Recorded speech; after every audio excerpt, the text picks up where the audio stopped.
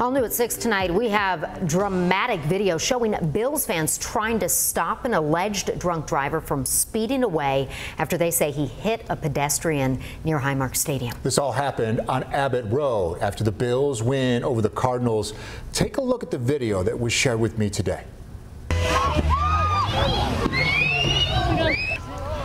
Now, according to witnesses here, the driver in that blue car had just hit a woman on West Abbott Grove before pulling on to Abbott Road. Orchard Park police confirmed the vehicle is the same make and model of the car driven by a man who police arrested and charged with felony DWI for hitting someone on Sunday.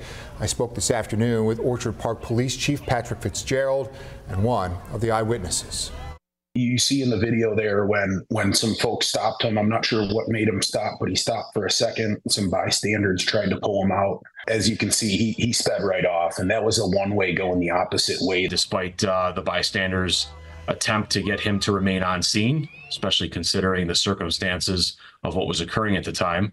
Um, he fled and uh, fled into uh, stadium traffic.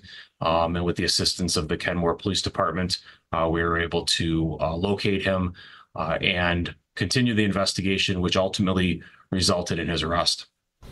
Now, the driver, Alfred Santiago, is charged with felony DWI, felony aggravated unlicensed operation due to a previous DWI conviction, and leaving the scene. Chief Fitzgerald tells me the woman who was hit on Sunday remains in the hospital tonight with serious injuries.